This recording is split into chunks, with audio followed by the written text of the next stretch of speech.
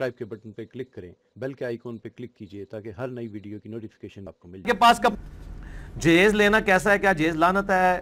اگر جیز لانت ہے تو لڑکی والے جیز لانت ہے، میں تو اس جملے سے شروع سے ایگری نہیں کرتا ہوں۔ ہاں اسٹیبلش جیز لانت بن چکا ہے۔ جیز کی ڈیمانڈ لانت ہے، لیکن اگر کوئی باپ اپنی بیٹی کو گفٹ دیتا ہے اور جس سے بیار ہے وہ ڈیمانڈ کوئی نہیں کرتا، تو یار باپ کو اس رائٹ سے آپ کیوں روکتے ہیں؟ باپ بیٹے کو تو جناب وہ اتنی مہنگی موٹر سائیکل اور گاڑی لے کے دیتا ہے، بیٹی کو لے کے دیتا تو جیز لانت ہے اے پھکی جے۔ بیٹے نو جیز دینا ٹھیک ہے؟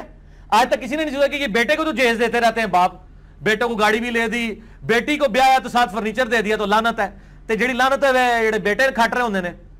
اور بعد میں وہ باپ کی پوری جداد، باپ کی زندگی میں کہتے ہیں کہ جی آپ ہمارے نام پہ لگا دو۔ یہ جو لانتے کھٹ رہے ہوتے ہیں، سب سے بڑا تو لانتی جیز تو بیٹے لے رہے ہیں۔ اس کے اوپر کوئی بات نہیں کرتا۔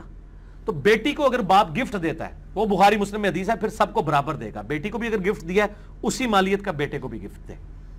وہ برابر دینا چاہیے۔ وراثت کے احکام جو ہے مسئلہ 22 ریکارڈڈ ہے، مرنے کے بعد کے ہیں، وہ اللہ سے معاملہ ہے۔ تو اگر کوئی جیز ڈیمانڈ کرتا ہے اور شرط رکھتا ہے، تو ظاہر ہے یہ تو پوچھنے کی ضرورت ہی نہیں ہے، تو بالکل غلط ہے، حرام ہے۔ اور پریکٹیکلی ایسے ہو بھی رہا تو غلط ہے۔